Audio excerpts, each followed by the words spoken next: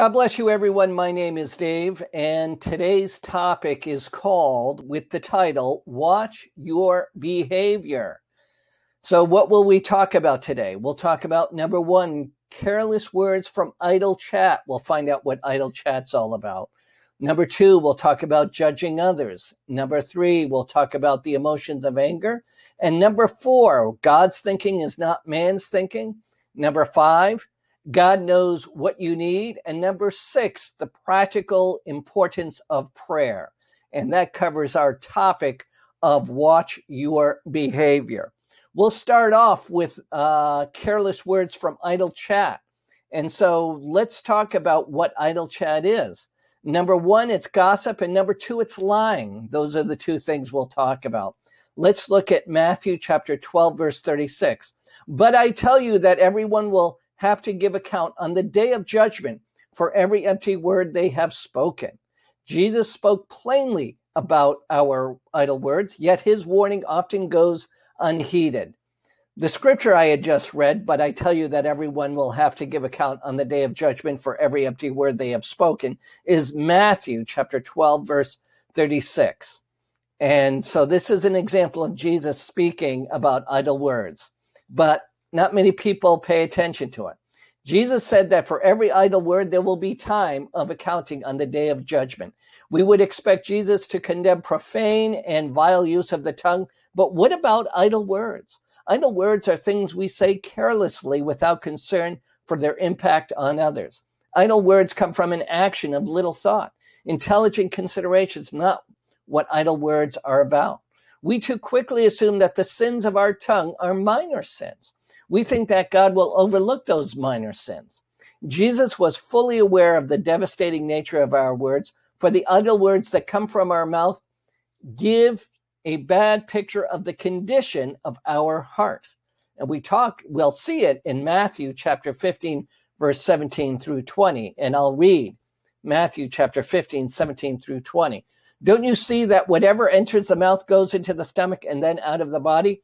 But the things that come out of a person's mouth come from the heart, and these defile them. For out of the heart come evil thoughts, murder, adultery, sexual immorality, theft, false testimony, slander. These are what defile a person, but eating with unwashed hands does not defile them. And that's in Matthew chapter 15, verse 17 through 20. Let's talk about hurting words. They can be from any type of idle chat. It starts from the heart, goes to the head, and explodes out of the mouth. Again, it starts from the heart, goes to the head, and explodes out of the mouth. Hurting words like rumors, gossip, disrespect, manipulation by opinion, and deception through self interest. See how that works? Hurting words starts from the heart, goes to the head, and explodes out of the mouth. You see, hurtful words cause someone pain, and it is easier to point out even the cause of your anguish. But words that were never meant, or words that we have thoughtlessly put out there may give someone a different type of torment. They may cause someone to question oneself if they were not good enough to be worthy of the words that were initially said. They may cause someone to look back and ask, Did I do something wrong? What could I have done differently? They may cause someone to think hard to try to be better and sooner or later not to trust. Now let's take a look at Matthew once again. Again, that's chapter 15, 17 through 20.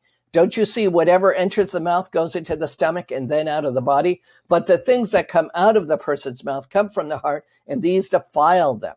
For out of the heart come evil thoughts, murder, adultery, sexual immorality, theft, false testimony, slander. These are what defile a person, but eating with unwashed hands does not defile them.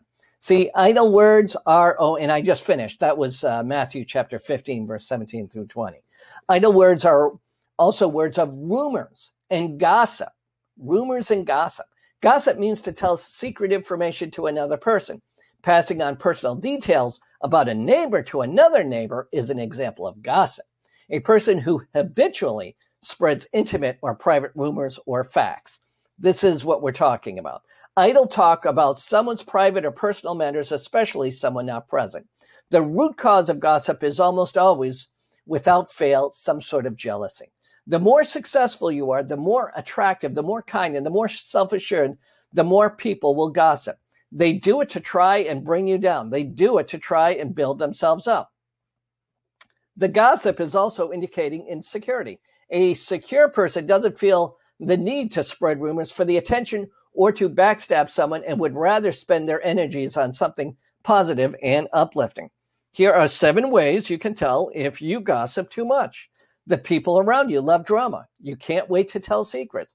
People stop sharing with you. You have trouble coming up with other conversation. You feel better about yourself when sharing info. People come to you with juicy information. People are talking about you. These are some of the examples. The purpose of gossip is to tear a person down and erode their self esteem. It's in that state where people may begin experiencing mental health issues such as eating disorders, suicidal thoughts, depression, and anxiety. Gossip can ruin friendships, relationships, and marriages. It hurts your personal and professional reputation if you are labeled a gossiper. It can create huge issues about trust between people and teams. It hurts the way people and departments communicate with each other and even their clients and customers. Let's talk about some examples of rumors, unverified pieces of information. It often involves speculation. Um, it's uh, it is unknown if information is true. It may change slightly as we told, and usually it's harmful to other people. Now, some examples of gossip. It's a juicy or scandalous story. It's hurtful for another person. As I said, it's unknown if the information is true. Usually involves things not discussed publicly, and it may humiliate, humiliate the person it's about. When people feel bad about themselves, they, they sometimes will target other people with gossip and rumors to try to make themselves feel better. As a result, they talk about others as a way to deflect attention from themselves. It's done through gossip and rumors. They do this for a variety of reasons. Number one, to feel accepted. Number two, to get attention. Uh, number three, to gain power. Number four, to get revenge. Number five, to relieve boredom. And finally, some other reason. Gossip is shared by the misinformed who often sound like fools while creating drama and disorder. These kinds of people start a conversation with, I shouldn't be telling you this, but dot, dot, dot. There is always a quote that says, the one who always insisted that they don't want drama is involved with drama. People who try to destroy with rumors are destroying their own reputation. Ignorance is judging someone from the rumors that you hear and believe. Stupidity is spreading those rumors, thinking you will come out a better person. A set of idle words is also lying. The word lie is one which instantly generates a vision and feeling of gross negativity. It embodies the sort of morality that most people would wish to steer well clear from. Despite this, there are many individuals who are prepared to spin works of fiction to their friends, families, and partners. People who lie seem to do this with very little difficulty as if it's well practiced. Lying begins to put great strain on all aspects of relationship, and if left unchecked, it will break the relationship. Now, here are ways lying hurts relationships. Number one, lies erode trust. Number two, lying shows a lack of respect. Number three, lying demonstrates selfishness. Number four, the liar is conning themselves too. Number five, lies make a relationship unbalanced. Number six, one lie will lead to another. Number seven, lying is a loss of integrity. And number eight, lying is a failed character. The book of Proverbs uh, in chapter 17, verse 28, encourages us to speak less rather than risking saying something offensive. And that's in Proverbs 17, verse 28. And the scripture says, even fools are thought wise if they keep silent and discerning if they hold their tongues. Now that's Proverbs 17, verse 28. Often, when we have nothing significant to say, we are tempted to speak hurtful and idle words. The more time we spend in idle chatter, the greater the likelihood that we will say things that are harmful. In the Bible, James cautioned believers to be swift to hear, slow to speak, and slow to wrath. And I'll read James chapter 1, verse 19. My dear brothers and sisters, take note of this. Everyone should be quick to listen, slow to speak, and slow to become angry. And that's James chapter 1, verse 19. We are in much less danger of saying something offensive when we are listening rather than uh, when we are speaking. Think carefully about the words that come from your mouth. We should all speak only words that uplift and bring grace to others, as we see in Ephesians chapter 4 verse 29. And the scripture says, "Do not let any unwholesome talk come out of your mouths, but only what is helpful for building others up according to their needs, that it may benefit those who listen. Ephesians chapter 4 verse 29. Now the question is, do you need to speak less? Do you need to be more careful about the kind of humor you use? Ask the Holy Spirit to help you evaluate whether your words build up others or whether they destroy and hurt others. Now, our second topic judging others. Are you a judgmental person? Have you sometimes been more judgmental towards others? Are people judgmental towards you? What does it mean to be judgmental? And how does that compare to being discerning? Let's go to the Bible and see what we can learn. And we first go to Luke chapter 6, verse 37. Do not judge, and you will not be judged. Do not condemn, and you will not be condemned. Forgive, and you will be forgiven. There is a significant difference between judgment and discernment. Discernment is the ability to attain sharp perceptions well. Discernment is defined as the ability to notice the fine point details and the ability to understand and comprehend something. Now, if you describe someone as discerning, you mean that they are able to judge which things of a particular kind are good and which are bad. Our problem is that we like to sit in the judgment seat and declare condemnation upon those whom we think have sinned. Scripture warns us not to judge others based on our own self righteous righteousness because we all fall, fall short of the glory of God, and only God can know the state of anyone's heart. It is suggested to follow a two step approach when exercising sound judgment. First, we're to avoid rashly judging, such as condemning others based on our own feelings of superiority, since we all have the tendency to sin. Second, and after we've corrected our own transgressions, we have the clarity necessary to help others overcome their sins. In Matthew chapter 7 verse 5, the scripture says, "You hypocrite, first take the plank out of your own eye, and then you will see clearly to remove the speck from your brother's eye." And that's in Matthew chapter 7 verse 5. To keep from being hypocritically judgmental, we must first focus on gaining the discernment necessary to correct our own shortcomings by rooting our judgment in the knowledge of Scripture. The discernment of Christians must gain is the ability to ascertain what's true and what's false, to distinguish between what is biblically right and wrong in all areas of life. A discerning person doesn't readily believe everything he sees or hears, but keeps his reasoning aligned with God's word so as to walk justly and steer clear of false prophecies. Now let's go to 1 John chapter 4 verse 1. Dear friends, do not believe every spirit, but test the spirits to see whether they are from God, because many false prophets have gone out into the world. And again, that's 1 John chapter 4 verse 1. Now let's go to uh, some more. Let's learn more. We can grow in sound judgment by studying scripture and praying for the Holy Spirit to fill us with discernment. Let's jump to 2nd of Timothy chapter 3 verse 15. And how from infancy have you known the holy scriptures which are able to make you wise for salvation through faith in Christ Jesus? And that's 2nd Timothy chapter 3 verse 15. At times our judgmental attitude can seem to provide us an excuse not to become involved in God's redemptive work in someone's life. The Bible reminds us that God will treat us with the same grace or severity with which we treat others. In Luke chapter 6, verse 38, the scripture says, Give and it will be given to you. A good measure, pressed down, shaken together, and running over will be poured into your lap. For with the measure you will use it to measure measured to you. And that's in Luke chapter 6, verse 38.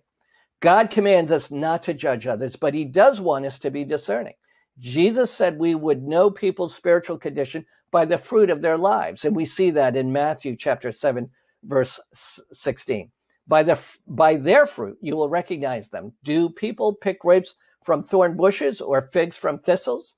And that's Matthew chapter 7, verse 16. God said grapes are not produced by thorn bushes. If a person's life produces thorns, we can assume that a person is not a grapevine. Are we being judgmental? No, we're being discerning. Discerning is not the same as being judgmental. Remember, someone with a discerning taste or a discerning eye is good at distinguishing the good from the bad, it's sifting out the gems from the junk. We have been instructed in the Bible to observe the lives of others so that we can help them while avoiding any sinful influence. Our discerning eye should be the voice of God so that we can help others. Dear Lord, allow me to be a vessel for your will with a discerning eye to help others. You will be helpful to others only if you see them as God does. If you have been judgmental of others, ask for forgiveness and pledge yourself to let God use you as his minister of reconciliation. We can understand this by going to 2nd of Corinthians chapter 5 verse 18 and the scripture says, all this is from God who reconciled us to to himself through Christ and gave us the ministry of reconciliation. And that's in 2nd of Corinthians chapter 5 verse 18. And in Luke chapter 6 verse 37, do not judge and you will not be judged. Do not condemn and you will not be condemned. Forgive and you will not and you will be forgiven. And that's in Luke chapter 6 verse 37. Next, let's talk about the emotion of anger. Are you an angry Christian? What do we mean when we say anger? What is the behavior? In Ephesians chapter 4 verse 26, in your anger do not sin. Do not let the sun go down while you are still angry. That's Ephesians chapter 4 verse 26. Few things are more destructive to Christians than anger. Anger overcomes and destroys peace and joy. Once that happens, no one would ever think of you as a Christian. Anger causes us to lose our self control. It causes us to say and do things we would otherwise never consider. Anger turns into bitterness that eats away at our hearts. Scripture consistently commands believers to put away anger and list it as one of the sins of the flesh. Yes, anger is a sin and can lead to even greater sin. At times, we try to defend our anger.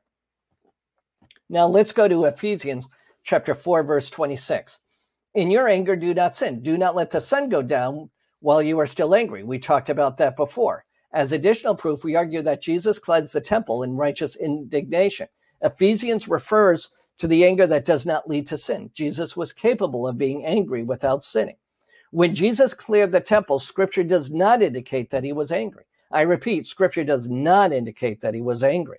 Let's look up the following scriptures from the Bible. I'll read from Matthew, Mark, and Luke.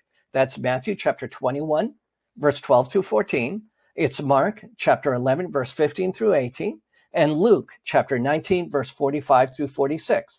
So I'll start off with Matthew chapter 21, verse 12 through 14. Jesus entered the temple courts and drove out all those who were buying and selling there. He overturned the tables of the money and changers and the benches of those who are selling doves. It is written, he said to them, My house will be called a house of prayer, but you are making it a den of robbers. The blink, the blind, I should say, and the lame came to him at the temple and he healed them. And that's in Matthew chapter 21, verse 12 through 14. So let's now go to Mark chapter 11, verse 15 through 18. On reaching Jerusalem, Jesus entered the temple courts and began driving out those who were buying and selling there. He overturned the tables of the money and changers and the benches of those selling doves and would not allow anyone to carry merchandise through the temple courts. And as he taught them, he said, Is it not written, My house will be called a house of prayer for all nations, but you have made it a den of robbers? The chief priests and the teachers of the law heard this and began looking for a way to kill him, for they feared him because the whole crowd was amazed at his teaching. And that's Mark chapter 11, verse 15 through 18. Let's go to Luke chapter 19, verse 45 through 46. When Jesus entered the temple courts, he began to drive out those who were selling. It is written, he said to them, My house will be a house of prayer, but you have made it a den of robbers. And that's in Luke chapter 19, verse 45 through 46. We must be careful not to justify our anger with scripture. Ephesians chapter 4, verse 31 commands us to put away all anger. Ephesians chapter 4, verse 31 says, Get rid of all bitterness, rage and anger, brawling and slander, along with every form of malice. Again, that's Ephesians chapter 4, verse 31. That does not mean that we cease to have strong convictions or lose our desire for justice. It does mean we refuse to allow the sins of others to cause us to sin. Anger does not bring about God's redemptive work. Far more often, it hinders what God is working to accomplish. If you feel that you have a righteous anger because of something that has happened, see if you are holding anger in your heart without sin. Is your anger turning into bitterness? Is your anger causing you to speak in an unchristian manner to someone or to gossip about them? Is your anger causing you to make excuses for your own ungodly behavior? Is your anger preventing you from acting in a loving, redemptive, and Christ like way towards someone? You must examine any anger within you and allow God to remove any sinful attitudes that your anger may have produced. Let's go to number four God's thinking is not man's thinking. In our sinful ways, we spend more time telling God something rather than listening to what God is trying to tell us. Unfortunately, we don't understand what God is trying to tell us or how to make an effort to find out. Instead, we try to figure it all out in a carnal way based on what we know of our earthly world. God wants us to see the big picture, but we escape it. Did you know God's thinking is not man's thinking? I say to you again, I say and ask you again. Did you know that God's thinking is not man's thinking? And Colossians chapter 2, verse 8 Be careful that no one takes you captive through philosophy and empty deceit based on hu- human tradition, based on the elemental forces of the world, and not based on Christ. That's Colossians chapter 2, verse 8. There is a subtle temptation that encourages Christians to be practical. Being practical is actually doing or using something in the physical realm rather than with faith in the spiritual realm. So when we say Christians are to be practical, it means we are to do God's work in a man's way instead of God's way. This is a mistake. Many Christians are lost as they are not following the light of the Lord that shows God's way. And getting results becomes a primary focus of many Christians. This means not operating under God's time. We control things in our time, and that is an out of control state of behavior. Going outside of God's timing is out of order. It almost seems that we believe that the end justifies the means. That means we are in a rush. Don't make the mistake of being led away by the world's reasoning. The world's reasoning and logic is not God's reasoning and logic. Now let's go to number five. God knows what you need. Seek out his wisdom. Let's take a moment to look at Matthew chapter 6, verse 8. Your heavenly Father knows you. Don't be like them because your Father knows the things you need before you ask him. And that's in Matthew chapter 6, verse 8. Even before we call on God, he has already begun to provide all that we need. We see that in the scripture, Isaiah chapter 65, verse 24, and I'll read it to you. Before they call, I will answer. While they are still speaking, I will still hear. You see, Jesus wanted his disciples to learn how intimately God knew and loved each and every one of them. That is why he told them to pray. He wanted to hear the voice from the disciples. He wanted a relationship. He assured them that even before they prayed, God knew all about their situation. Prayer is not designed us to inform God of our needs. He already knows them. Why then should we pray? Prayer enables us to experience God more intimately. The more a child experiences the loving provision of a parent, the more convinced he becomes of his parent's unrelenting love. Often a parent will anticipate a child's need before the child recognizes it and be prepared in advance to provide that need. Our Heavenly Father knows exactly what we will face today and next week and next year. He is eager for us to experience Him as He provides for us. To our surprise, we often discover that God knows far better than we do uh, for what is best for us. At times, we assume that we know what would benefit us. We can even be foolish enough to assume that we don't require anything of God. Yet God wants us to go to Him in our need. Now let's go to Matthew chapter 7, verse 7. Ask and it will be given to you. Seek and you will find. Knock and the door will be open to you. And that's in Matthew chapter 7, verse 7. He is ready to show his strength through our weakness. Our Heavenly Father knows exactly what's best for us, and He is prepared to provide for every need if we will only ask. Let's go to Philippians chapter 4, verse 13. I can do all this through Him who gives me strength. As we, and that's uh, Philippians uh, chapter 4, verse 13. Now let's talk about number six, uh, the practical importance of prayer. There is a practical importance of prayer. It increases the sound and the voice of the Holy Spirit inside of us. If we increase the Holy Spirit, we can have less room for our foolish actions. Seek God through prayer. In Luke chapter 3, verse 21 through 22, again, that's Luke chapter 3, verse 21 through 22. When all the people were baptized, Jesus also was baptized. As he was praying, heaven opened and the Holy Spirit descended upon him in a physical appearance like a dove, and a voice came from heaven You are my beloved Son, I take delight in you. And that's in Luke chapter 3, verse 21 through 22. The greatest moments in your life come through prayer. When Jesus prayed, heaven opened and the Holy Spirit descended upon him. The Spirit came upon the disciples as they gathered to pray on the day of Pentecost. It is the day the Holy Spirit descended on the apostles, causing them to speak in tongues. When the disciples prayed together after Pentecost, their gathering place was shaken and they were given the courage and confidence to proclaim the gospel throughout the city. Pentecost is the descent of the Holy Spirit on the apostles and other disciples following the crucifixion, resurrection, and ascension of Jesus Christ. If we go to Acts chapter 2, verse 1 through 4, when the day of Pentecost arrived, they were all together in one place, and suddenly there came from heaven a sound like a mighty rushing wind, and it filled the entire house where they were sitting.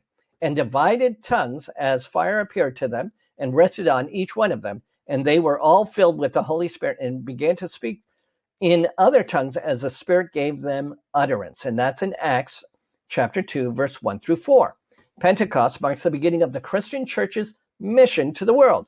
We have the Holy Spirit through Jesus to God as our direct connection to the will of the Lord. We must pray.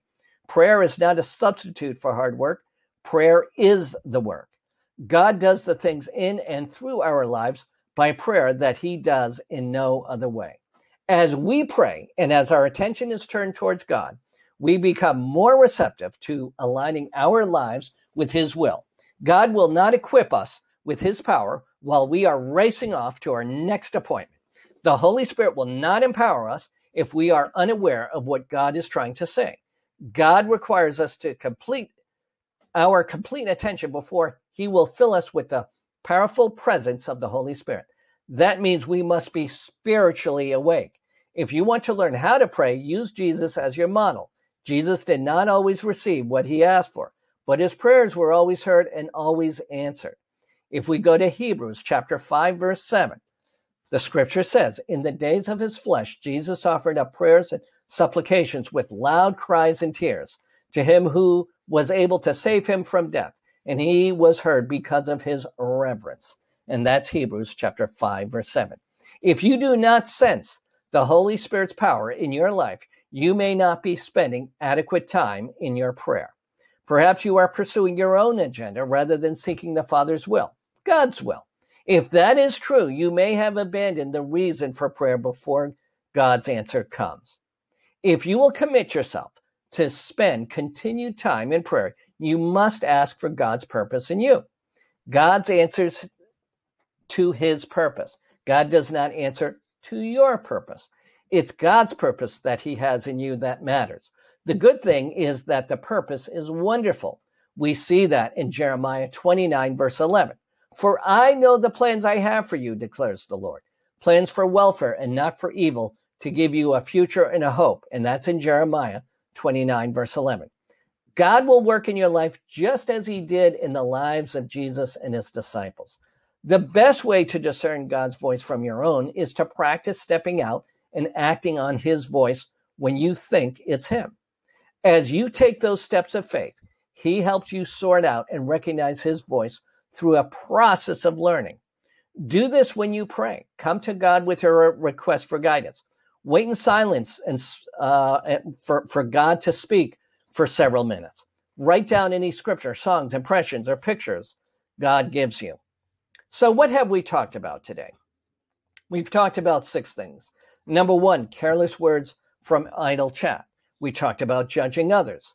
Number three, the emotion of anger. Number four, God's thinking is not man's thinking. Number five, God knows what you need. And number six, the practical importance of prayer. So now let's take a moment to pray together. I ask you to raise your hands and close your eyes and pray with me at this hour. Dear Lord Jesus, I come before you today because I want to hear your voice. I want you to always speak to me just like you spoke to the prophets of the past. I pray that you will speak to me clearly in the name of Jesus.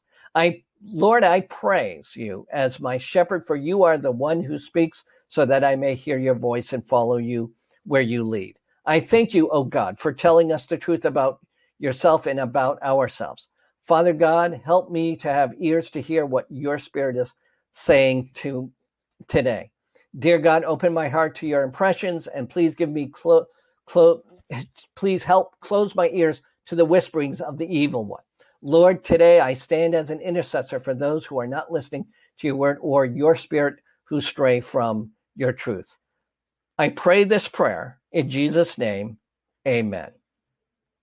Thank you for joining me. Our topic today has been Watch Your Behavior. My name is Dave.